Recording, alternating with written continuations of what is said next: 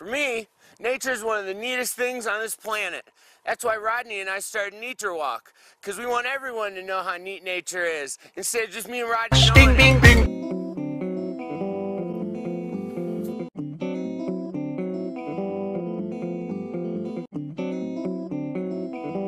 How neat is that? Hello. You people know a lot about trucks. Without a doubt, coming out into nature is one of the neatest things there is to do. I respect your distance. There's bears out here, there's mountain cougars, and biting goats. How neat is that? That's pretty neat. That's pretty neat. That's pretty neat.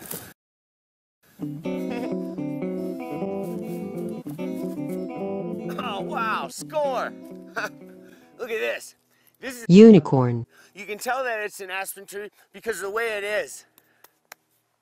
Wow. I'm Bear Grylls. This is a riverbed for one reason. The water runs down here. But first, let me take a selfie.